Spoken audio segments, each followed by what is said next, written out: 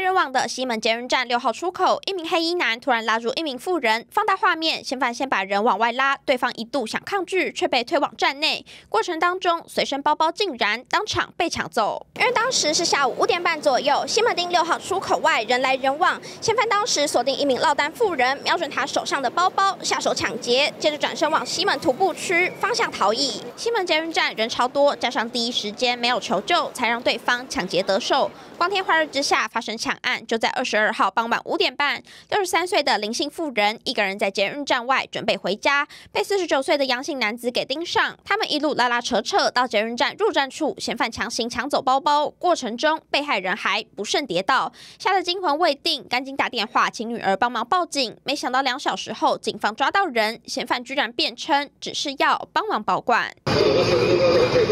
一锁定对象，警方立刻扩大搜寻。第一时间，男子还矢口否认，就是不承认自己就是抢匪。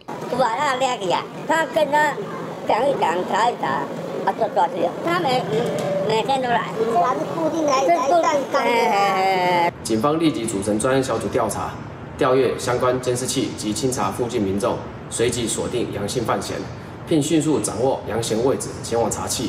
于两小时内巡线查获。虽然两小时内就抓人移送，但警方也提醒落单妇女，别以为人多就不会被盯上。万一遇上这种沉默抢匪，可得大声呼救，才能保护自身安全。记新闻黄宣伟、林燕采访报道。下载静新闻 App，一手掌握新闻时事，尽善尽美，尽好新闻。